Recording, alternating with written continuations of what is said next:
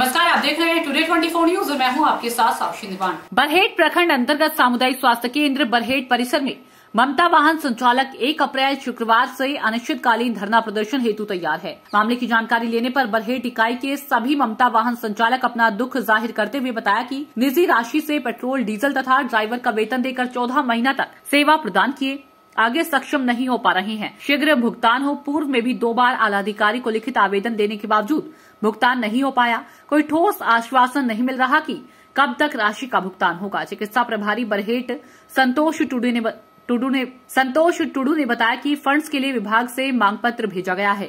जो आने के बाद भुगतान करने में सक्षम होंगे, परंतु कोई निश्चित समय नहीं है। सात सीए साहिबगंज अरविंद कुमार की शिथिलता सामने आई है। जो जानकारी लेने के दौरान बताया कि गाड़ी खुद की है, चलाए या न चलाए, इसमें हम क्या कर सकते हैं? एवं मुझे इसकी कोई सूचना नहीं है। जो विभाग के सबसे आला अधिकारी होने के नाते गैर सवाल ये है कि ममता वाहन संचालक से पहले स्वास्थ्य विभाग की तरफ़ से कुछ नियम, शर्तों का दस्तावेज़ है, जिसमें सीएस अरविंद कुमार का हस्ताक्षर है। धरने में बैठने से पूर्व स्थानीय प्रभारी को लिखित प्रतिवेदन किया। क्या नाम हुआ आपका? मेरा नाम हरिंदर पंडित। अच्छा तो आप लोग अब ममता वाहन संचालक है? जी हाँ। आज से आप लोग ममता वाहन बंद क्यों रखे हैं? इसलिए हम लोग को चौदह महीना से बकाया है।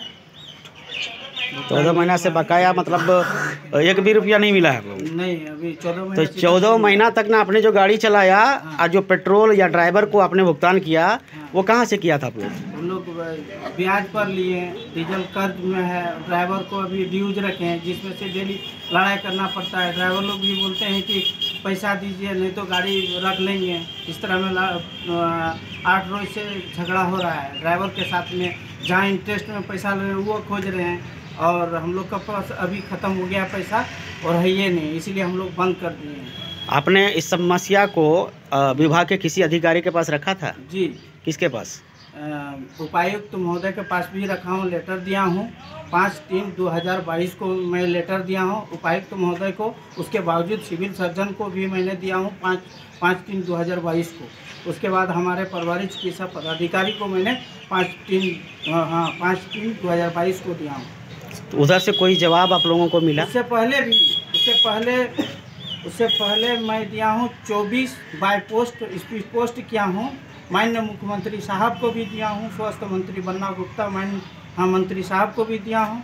उसके बावजूद भी उस, उसमें भी उपायुक्त को भी दिए थे और सिविल सर्जन को भी दिए थे, और प्रभारी को भी दिए थे। ये दूसरा अल्टीमेटम दिए जो हम ये जो एक अप्रैल को बंद करने का।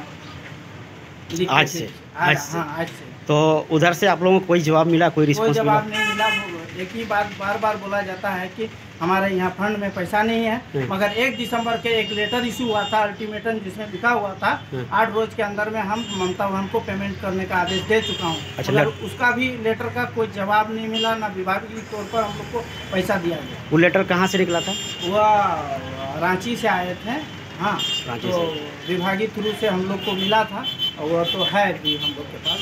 अच्छा तो अभी फ़िलहाल अभी फ़िलहाल जो आप लोग पैसा मांग रहे हैं तो उधर से यही जवाब आ रहा है कि फंड में पैसा नहीं है? फंड में पैसा नहीं है।